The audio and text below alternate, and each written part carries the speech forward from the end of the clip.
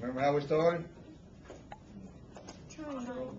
What kind of triangle? An equilateral with An equilateral triangle. We're gonna make an equilateral triangle. ABC, sides equal one.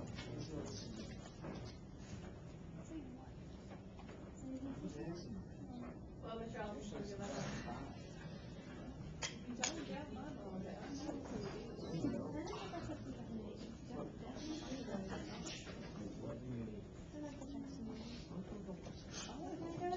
attention, ladies and gentlemen.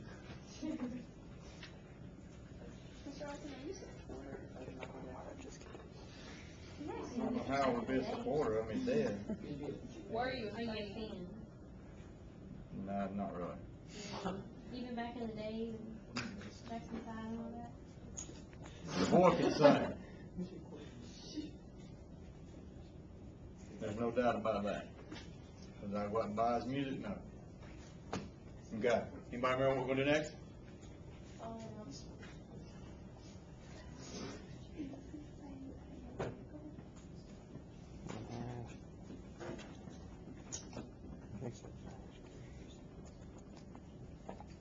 Alright. The next thing I'm gonna do is draw an altitude.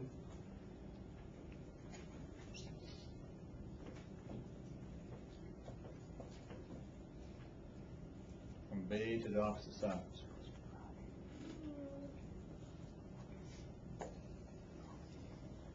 In an equilateral triangle, at altitude bisects the opposite side. Okay? So that makes two smaller triangles. Short leg, one half, and it's got the altitude, hypotenuse one, right? Right triangles. What does it do to the angles up there at B? Cuts it half. Bisects that angle, and what was it before? Sixty. It was sixty, now it's thirty. And so what it's giving me is two 30, 60, 90 triangles. Okay? If I call that point D at the bottom of that triangle, and I'm gonna pull one of those triangles out.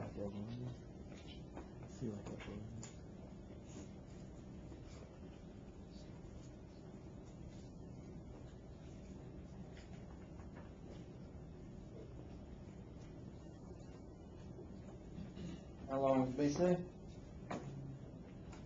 How long is BC? One. How long is CD? One half. How long is BD? One. Ooh, be careful. What you gotta do here? You have to, you have to, yeah. Yeah, because if we let this be X, then what can I write? One half squared plus x squared equals one squared. One half squared plus X squared equals one squared, which is just one, right? What's one half squared? One fourth. I subtract one fourth from both sides. What's one minus one fourth? Three fourths. And when I take the square root of both sides, what do I get? Square root of three over two. Square root of three over two. That means this is the square root of three over two. And all of that is thank you to Pythagoras, right? We're still doing the five minute thing. How much time you got? Three to forty. You're in good shape. Okay? Because now, definition of sine, cosine, tangent, all that stuff you learned way back in geometry, SOHCAHTOA, the old hippie thing, whatever you learned it by, right? Look at that triangle and tell me what is the sine of 30 degrees? One How do you find a sine? Opposite over. Adjacent. over what? Uh, Over hypotenuse. hypotenuse. Done. One half over one, which is just one half.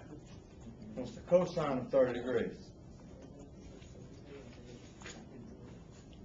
Adjacent over hypotenuse. Adjacent over hypotenuse, right? Actually, it's square root of three over. Which is square root of three over two over one, which is Square root of three over two.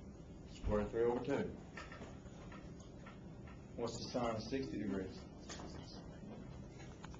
Square root of three over two.